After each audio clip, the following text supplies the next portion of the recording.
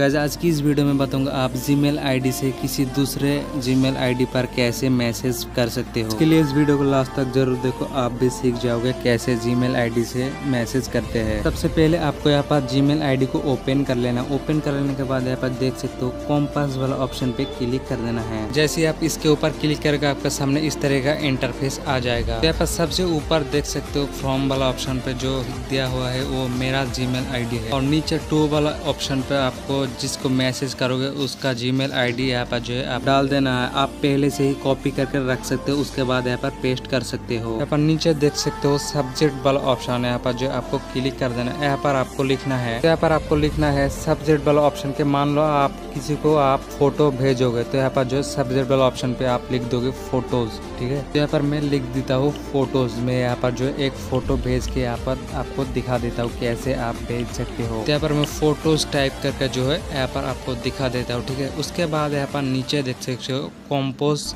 Email ठीक है? के ऊपर क्लिक करके जो है, आप यहाँ पर जो है, कोई भी लिख सकते हो। मैं यहाँ पर आपको दिखाने के लिए मैं यहाँ पर हेलो लिख देता हूँ, ठीक है? हेलो लिख देने के बाद मान लो आपको यहाँ पर जो है इम्पोर्टेंट एक फ़ाइल पठाना है, वहाँ पर जो फ़ोटो भेजना है, ठीक है? उसके बाद इसके ऊपर क्लिक करके एटस फ़ाइल के ऊपर क्लिक कर देना है। एटस फ़ाइल के ऊपर क्लिक करने के बाद यहाँ पर आपके सामने यहाँ पर फ़ोटो का ऑप्शन आ जाएगा। यहाँ पर कोई भी एक फ़ोटो आपको सेंड करके दिखा देते हो ठीक है तो यहाँ पर इस वाला फ़ोटो को मैं सेंड करके आपको दिखा देती हूँ उसके बाद यहाँ पर जो है आपको सेंड वाला ऑप्शन पे क्लिक कर देना ऊपर की तरफ़ देख सकते हो सेंड वाला बटन दिया है उसके ऊपर आपको क्लिक कर देना है तो जैसे यहाँ पे यहाँ पर जो है सेंड के ऊपर क्लिक करोगे तो यहाँ पर जो है आपका फ़ोटो यहाँ पर अपलोड होने लगेगा आपको जिसको भेजो भेज रहा हो ना उसके पास यहाँ पर चला जाएगा फ़ोटो भेजने के बाद यहाँ पर थ्री डॉट के ऊपर क्लिक करके यहाँ पर सेंड वाला ऑप्शन पे जैसे क्लिक करोगे यहाँ पर देख सकते हो यहाँ पर जो है उसके पास आपका जो है फ़ोटो यहाँ पर चला गया है। तो अगर इस वीडियो का अगर आपको पसंद आई है तो वीडियो को एक लाइक कर दीजिएगा एंड कमेंट सेक्शन में ज़रूर बताइएगा कैसे लगी है वीडियो।